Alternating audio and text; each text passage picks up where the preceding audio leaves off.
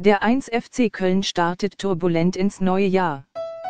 Laut übereinstimmenden Medienberichten steht der langjährige Torwarttrainer Bade vor dem Aus. Es soll Probleme mit Neutrainer Uthunbeck geben. Mehr zum Thema Vertrag bis 2021. Perfekt.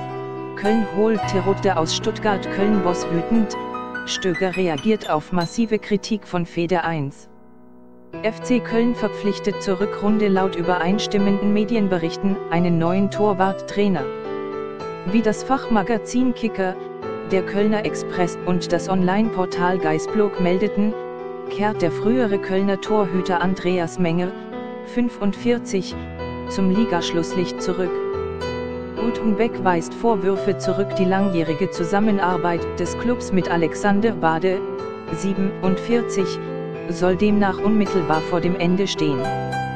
Laut Kicker soll es zwischen Bade und Neutrainer Stefan Uthunbeck Probleme in der Zusammenarbeit gegeben haben, die letztendlich zur Entlassung Bades geführt haben sollen. Uthunbeck wies die Berichte über atmosphärische Störungen mit Bade seit dem Abgang des langjährigen FC-Trainers Peter Stöger indes zurück.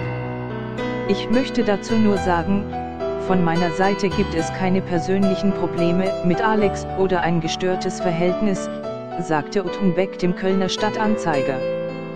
Ließ aber Raum für Spekulationen, es ist nicht so, dass ich mit Alex nicht kann. Ich weiß aber natürlich nicht ganz genau, wie er es empfindet.